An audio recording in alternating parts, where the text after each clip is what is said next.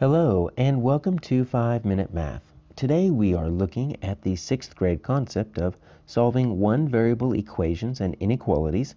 This is standard 6.10a in the great state of Texas and we are using item number 32 which is a new item type called equation off the Redesign Practice Online STAAR Test.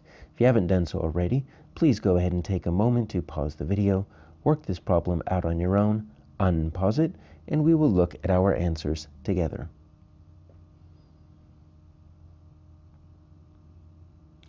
So we have this new item type. We It's simply called equation. We're going to have to type something in.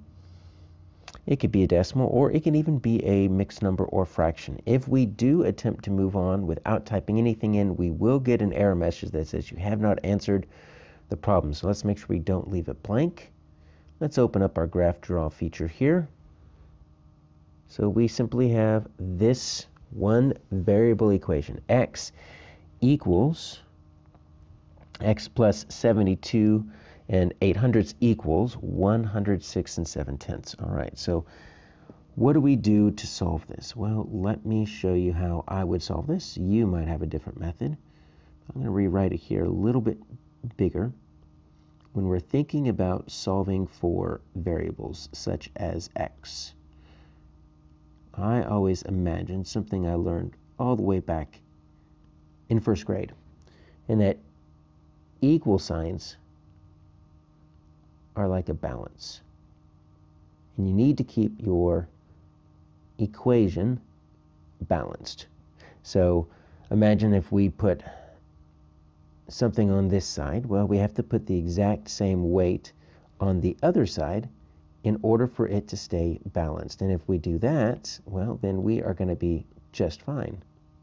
So let's make sure whatever we do on one side of the equation, we do to the other side of the equation to keep it balanced. So what are we going to do? Well, I need to get that x all by itself. And in order for me to get that x by itself, well, I need to get rid of this. And let me change my color right here. This is the only thing that's keeping that x from being by itself, that plus 72 and 8 hundredths. So what is the inverse operation of addition? Well, the inverse operation of addition is subtraction. So if I subtract 72 and 8 hundredths, look what's going to happen. Plus 7208 minus 7208. That is going to cancel those out. That's going to leave my x by itself. But in order for me to do that, I need to keep that balance. I need to do the same thing on the other side of the equal sign. So if I subtract 7208 from both sides, I'm going to have a balanced equation. That's going to leave my x all by itself. So I need to subtract this. I'm going to add that 0 right there. And let's just do basic subtraction now.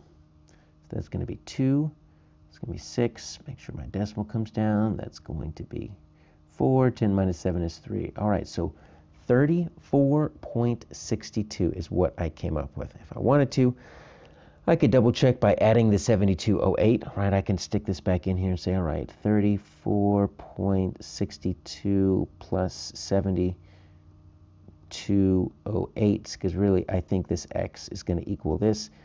Does that make 106.7? So I could double check that, but yes, that is going to equal 106 and 7 tenths. Now, how do I enter this? Well, there's two different ways you can enter it. Obviously, the simplest form is going to be just enter it as a decimal, right? So you can take your 34.62 and just move about your day. And if you want to do that, that is correct. You also have another option, which would technically be correct. And if you scored it like this, it's going to be fine. You could actually do this. You could do 34. You, now, let me start from the beginning. You have to hit 34. But when you're ready to get into the, the mixed number part, you actually have to hit this fraction right here. And it automatically defaults to the numerator. So you hit 62. And then you have to actually select the denominator. And look at that. I've got 34 and 6200, 62 over 100. This also is the correct answer. So you can either do 34.62 or you can show it as a mixed number and that's going to work.